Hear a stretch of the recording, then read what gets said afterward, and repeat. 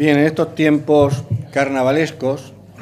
en la región de Murcia, no está de más una iniciativa como la que se nos ha presentado, pero siempre y cuando efectivamente se concrete si eh, lo que se pide en esta iniciativa de impulso al Gobierno es una mayor eh, financiación, un mayor presupuesto, en definitiva, un mayor compromiso. Porque o estamos ante una moción de impulso a la labor del Gobierno o estamos ante una moción de la palmadita a la espalda al Gobierno, que bien es cierto que bastante necesitado de palmaditas está, pero lo que hace falta eh, determinar aquí en esta Asamblea,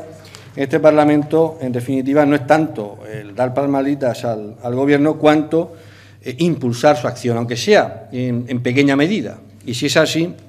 pues no habrá ningún problema para que Izquierda Unida Verdes apoye esta iniciativa. Pero si realmente se da ese compromiso, yo espero que nos desvele el, proponente de la iniciativa si es así lo que se plantea, porque si no, pues estamos aquí eh, en una situación realmente ociosa. Pero al mismo tiempo habría que hacer una reflexión sobre eh, los problemas de fondo que tienen pues, muchos niños en la región de Murcia. Muchos niños eh,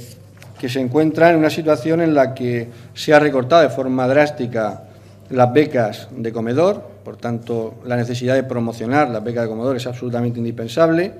Las ayudas a libros y material escolar se han recortado. Hay muchos niños afectados en la región de Murcia como consecuencia de que su familia ha sido desahuciada de su vivienda y esos son problemas de fondo que muchos de esos niños tienen en la región de Murcia y que sin duda hay que abordar. Y sobre todo y particularmente lo que habría que garantizar en esta acción de promoción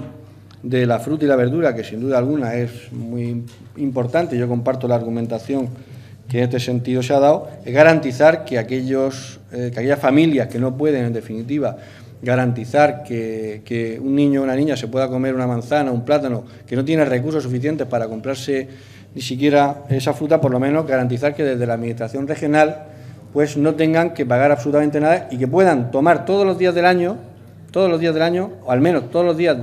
del curso escolar, pueda la Administración regional garantizarle que van a poder disfrutar de la fruta sin tener que poner sin tener que poner dinero porque no pueden ponerlo, porque no tiene su familia ningún tipo de recurso, porque su familia no tiene ni siquiera eh, prestaciones por desempleo o ni siquiera tiene una vivienda. Si eso es así, pues sin duda alguna será una buena iniciativa. Si lo que se trata es de dar una palmadita en la espalda al Gobierno, pues no será una buena iniciativa. Nada más. Gracias, señor Pujante. Señor Cano.